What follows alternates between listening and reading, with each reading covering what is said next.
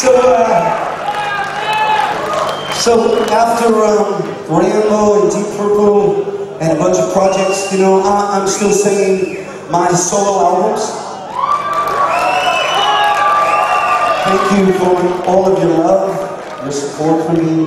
I really mean that. And I'd like to do a song that, uh, when I was in Turkey, I, I uh, experienced this scene, this story. And it's about a boy and a girl who many times love will never make you together. Because she was married and he was married, but not to each other,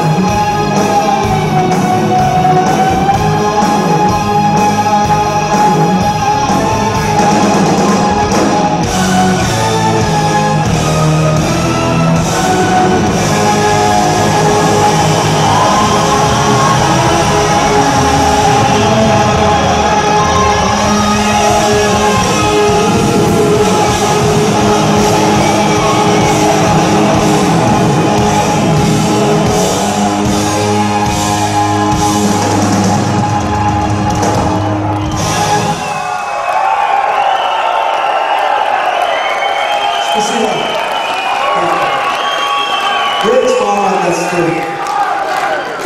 So this one.